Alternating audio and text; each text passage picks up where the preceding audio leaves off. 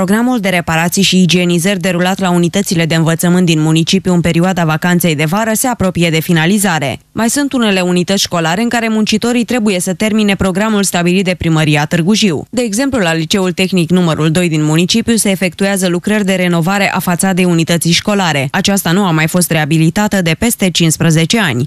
La liceul nostru în prezent se lucrează pentru renovarea fațadei liceului, care nu a mai fost uh, renovată, reabilitată de peste 15 ani de zile. După finalizarea lucrărilor, se va trece la igienizarea claselor și grupurilor sanitare. Avem uh, lucrări pe care le efectuăm noi din fonduri bugetare interne, autofinanțate.